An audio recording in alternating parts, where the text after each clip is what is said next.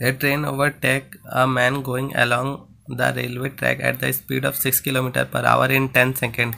If the length of the train is 200 meter, find the speed of the train. अब देखिए train 200 metre की है उसकी speed नहीं गिवन है समझ रहे हैं और मैन 10 सेकंड में इस ट्रेन को पार कर देता है ट्रेन भी चल रही है मैन भी चल रहा है मैन टेन सेकेंड में इस ट्रेन को क्रॉस कर देता है, दोनों की डायरेक्शन सेम है।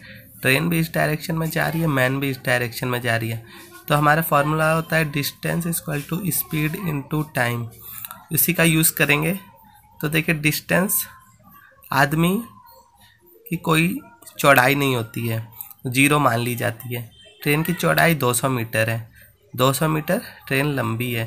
तो इस पूरे प्रोसेस में जो डिस्टेंस कवर हो रहा है, वो ट्रेन की कवर हो रही है।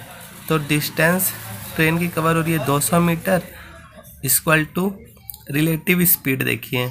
दोनों सेम डायरेक्शन में है तो रिलेटिव स्पीड इसकी सेम अगर दोनों सेम डायरेक्शन में है तो माइनस होती है रिलेटिव स्पीड और ट्रेन हमें पता ही है कि ज़्यादा स्पीड से होगी तो एक्स माइनस सिक्स कर देंगे।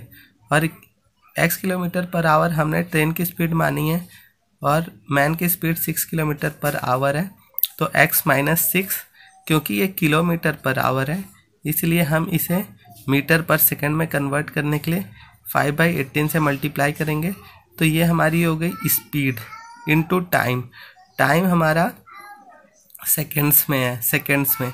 इसीलिए हमने इसको मीटर पर सेकंड में कन्वर्ट करने के लिए फाइव बाई एटीन से मल्टीप्लाई किया है। अब देखिए, ये टेन हो गया, अब इसे हम सॉल्व करेंगे। तो x equal to seventy eight आएगा। और x हमने माना था किलोमीटर पर आवर में। इसीलिए हमारा आंसर भी आ रहा है seventy eight kilometre per hour. इस तरह से हम इस क्वेश्चन को सॉल्व करेंगे। Okay friends